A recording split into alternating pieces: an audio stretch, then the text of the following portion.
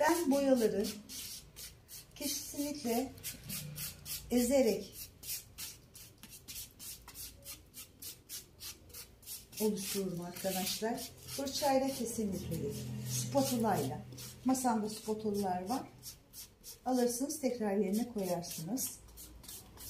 Bu şimdi ben niçin eee, sizlere renk yapın, hem renk kartlarını öğrenin amaç hariç birden fazla boyanın bir araya gelmesi bir rengin oluşum pigment vardır. Birden fazla pigment bir araya geldiği için daha ötücülüğü artar, daha kalitesi yükselir ve sizin işinizi kolaylaştırır aynı zamanda. Renk yapmanın haricinde.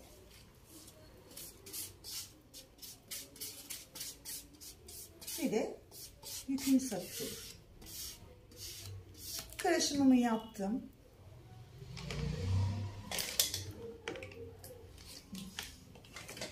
Hocam karışımı neyden yaptığınızı bir daha söyler misiniz? Beyaz ve kahverengi. Fırçamı ıslattım. Şöyle sıyırdım. Burası önemli. Ucunu aldım. Bakın. Böyle pıt diye alıp da değil. Sıyırmadım. İlk hareket fırçanın tüylerinin arasına boyayı yükleme hareketidir arkadaşlar.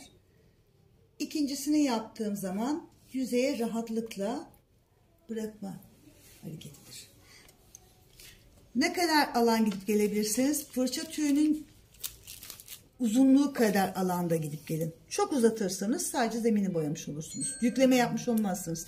Yükleme yaparken hafif bastırıyorsunuz. Tüylerin arasına giriyor. İkincisini yükleyip alıyorsunuz. Obje ne olursa olsun.